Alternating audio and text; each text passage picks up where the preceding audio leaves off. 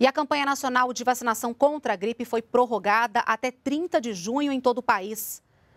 A terceira e última fase teve início no dia 11 de maio e até agora foram vacinadas, de acordo com o Ministério da Saúde, apenas 20 por, 25% das 36 milhões de pessoas estimadas. Os grupos prioritários são pessoas com deficiência, crianças de até 6 anos, gestantes, mulheres que tiveram filhos há 45 dias, professores e pessoas de 55 a 59 anos.